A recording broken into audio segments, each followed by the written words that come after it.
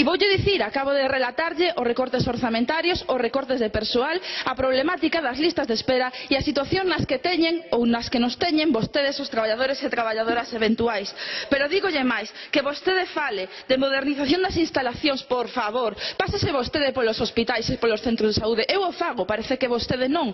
Temos falado en múltiples ocasións na Comisión de Sanidade de como están goteiras, incluso caída de radiadores, desprendementos de paredes, un deterioro paralizado que é froito dunha falla de planificación durante anos. Vostedes non fan absolutamente nada. Non fixeron prácticamente nada en canto a eses centros de saúde todos que ian facer. Dígalle vostede a xente do IO por que están esperando que ainda, cando xa teñen dende fai moitos anos terreos para construir o seu centro de saúde. Falelles vostede aos cidadáns de, de Pontevedra por que teñen que esperar para a ampliación de Montecelo e vostedes siguen porfiando nese modelo PFI de Montecarrasco. Pero, por certo, señor señor conselleiro. Mire que vostede trate aquí de dar algún tipo de lección é bastante lamentable. Cando chegou vostede fai seis meses aínda podía ter o beneficio da dúbida. Agora é vostede herdeiro das mesmas políticas que deron coa señora mosquera na rúa. Ten mañá vostede unha manifestación en vigo contra a súa xestión contra a súa política e contra a xestión da política do señor feijóo.